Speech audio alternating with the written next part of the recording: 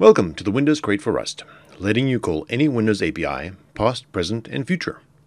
Rust is a systems programming language.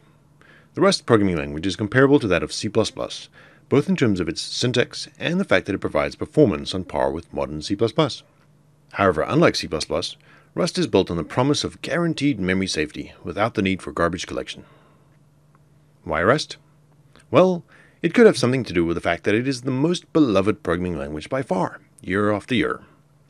It may have a relatively steep learning curve, but once you're over the hump, it's hard not to fall in love. Much like C++/WinRT before it, Rust for Windows is an open source project developed on GitHub. We accept contributions, so feel free to get involved. As a Rust developer, you're probably already using Cargo along with Crates.io to manage your dependencies. The good news is that the Windows Crate gives you immediate access to the Windows API. You can also find Rust documentation for the Windows Crate over on docs.rs. Not convinced? Let's write some code. At the command prompt, let's use cargo to create a new project. And let's make that the current directory. We'll also use cargo to create a nested crate called bindings, so that the build can cache the results of any bindings we import. Now let's open the sample in VS Code. First up, let's open the project's cargo.toml file and let's add a dependency to the local bindings crate.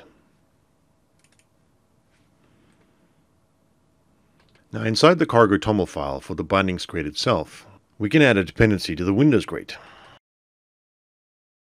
both for the bindings library and its build script. Just make sure to use the latest version. Now we can add the build script itself. This is where we're going to generate the bindings that we will ultimately rely on. Notice how the build script lives directly inside the bindings directory, outside of the source directory. Now inside the build script, let's add a main function. Then within the main function, we'll call the Windows build macro to generate bindings. The build macro takes care of resolving any dependencies, directly or indirectly, chasing down any types you may need by parsing and inspecting the types and metadata that take the form of WinMD files, describing all of the Windows APIs. It then generates Rust types or bindings directly from the metadata. We'll start with just a single declaration. The syndication API lets us download and parse an RSS feed, so we'll use that to download the recent entries from my blog. You can list any use paths you need in your project. You can even use an asterisk wildcard to generate bindings for an entire set of APIs. Obviously, build time will be improved if you only generate the bindings you actually need. So let's limit it to just the syndication client class. Even then, the build macro will automatically include other supporting types that it determines are necessary to use the syndication client class. Now inside the bindings library source itself, let's remove the default code, and we'll just use the Windows include bindings macro to include the source code generated in the, in the previous step by the build script. Here, the Rust Analyzer extension is reminding us that we need to enable this opt-in feature to actually get code completion for generated code. So we'll turn that on.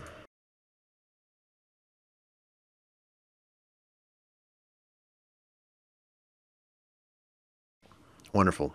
So that's it for the bindings crate. Anytime you need access to additional APIs, simply list them in the build script. Now we can start writing code for our project. Let's open up the main source file for the project. And before we write any code, let's make sure we can build and run by hitting the Run shortcut provided by the Rust Analyzer extension. If this is the first time you're building the project, it may take some time for Rust to compile the bindings. Fortunately, it's smart enough to cache the results and use them for subsequent builds. Great. Down in the terminal window, you can see that it successfully downloaded and compiled the dependencies before building the sample project itself. Now we'll employ a use declaration to shorten the path to types we actually need. The result type helps us with error propagation and concise error handling. The syndication API uses the URI class to identify the location of the RSS feed. And finally, the syndication client class itself. Now we can add a main function to do the work of downloading the RSS feed. You'll notice we're using the Windows result type as the return type of the function. This will make things easier as it's common to deal with errors from operating system functions. First up, inside the main function, we'll create the Windows Foundation URI object. Here you can see the question mark operator being used to handle and short-circuit any error resulting from this method call. If you come from a C Sharp or C++ background, think of this as the moral equivalent of exception handling. This just avoids us having to do a bunch of manual error handling. Windows runtime classes like this were designed for languages with constructors, like the C Sharp and C++ languages. But since Rust lacks constructors, we're left with calling these equivalent static methods, create URI in this case. Next we'll create the syndication client object. Here again, the syndication client class was modeled with the default constructor, and this is translated into a static new method commonly used in Rust. And then we can use this object to retrieve or download the RSS feed. The retrieve feed async method takes the URI object and begins an async operation. That's the result of the retrieve feed async method itself. We can either use a Rust async function to cooperatively wait for the results, or just use the blocking get method to do the same in a synchronous fashion. Finally, we can enumerate the items representing the recent entries from my blog. The feed items contain a lot of information, but here we'll just pull out the titles as text and print them out. And that's it. Let's take it for a spin.